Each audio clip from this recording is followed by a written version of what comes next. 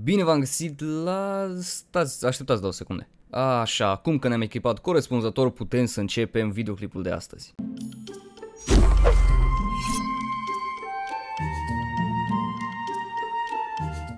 Zilele trecute eram pe breaslă și am explorat oceanul în căutarea unor zombi cu trident și atunci m-am gândit că update-ul acvatic din 1.13 a fost interesant. Însă, cum aș putea să-l fac mai interesant, așa că astăzi am găsit răspunsul, așa că bine v-am găsit la un nou top, astăzi am să vă prezint lucruri ce ar trebui adăugate în Minecraft în ocean. Dar înainte de a intra în pâine, nu uitați să lăsați în secțiunea de comentarii ce credeți voi că ar trebui adăugat în ocean pe lângă ce s-a adăugat până acum și desigur dacă vreți să facem partea a doua la acest videoclip sau dacă aveți voi alte idei de videoclipuri sau mă rog topuri pe care să le facem pe viitor. Haideți să mai lungim și să trecem la treabă. În oceane avem o multitudine de pești mici, însă la categoria grea avem numai câteva țestoase, de fapt câteva avem țestoase, care toate arată la fel, aici măcar mai au un design așa mai diferit, și avem delfini. Deci țestoase și delfini, atât putem vedea la categoria grea. Însă, gândiți-vă cum ar fi să fie niște balene din astea gigantice sau chiar să poți pleca în căutarea lui Moby Dick pe ocean. Ia uite, ia uite, aproape la fix, nu e chiar toată albă. Să nu uitați-vă cât de bine arată.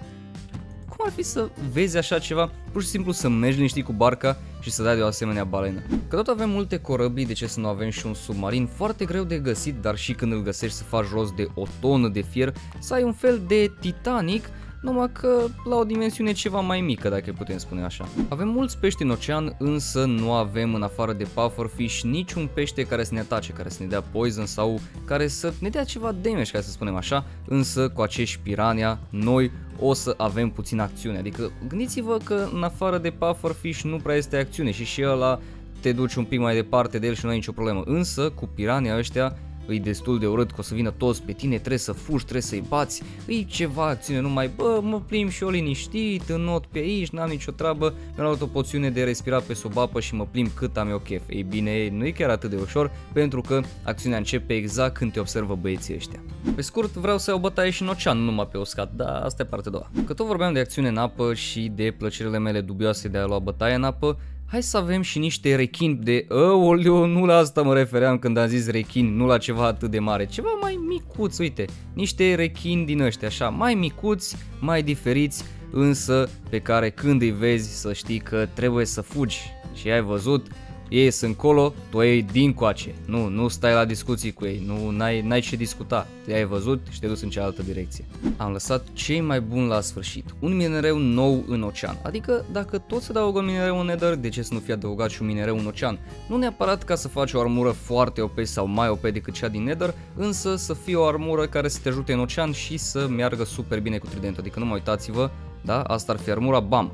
Deci că Poseidon, ce să mai, fiul lui Poseidon, Ios, ce Poseidon ar fi mândru de mine, însă nu, nu prea aici să mă vadă. Vă pleca de pe aici. Ideea ar fi că armura asta ar merge super bine și cu un mic bonus, adică să poți respira mai mult sub apă sau să ai night vision în timp ce ești în apă. Treburi de astea destul de simple, însă să fie destul de greu de obținut față de cum s-ar obține normal. Adică totuși dacă îți dă, dacă arată atât de bine și îți dă și un bonus șmecher, măcar să se obțină la fel de greu ca și tridentul sau chiar puțin mai greu.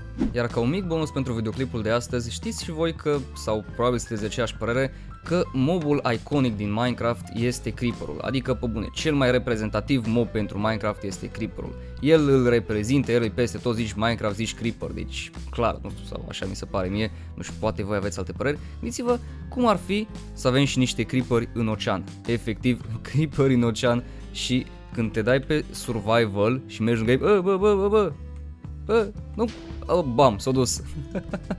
Asta a fost. Acestea fiind spuse, noi o să încheiem aici acest episod. Sper v-a plăcut, dacă da, și ce aveți de făcut și desigur nu uitați să lăsați în secțiunea de comentarii pe lângă ce v-am prezentat astăzi ce credeți voi că ar mai trebui adăugat în Minecraft în ocean și desigur ce părere aveți despre ce v-am prezentat astăzi. Noi ne revedem data viitoare, până atunci, azi voi toate cele bune, eu Zușmen, la revedere!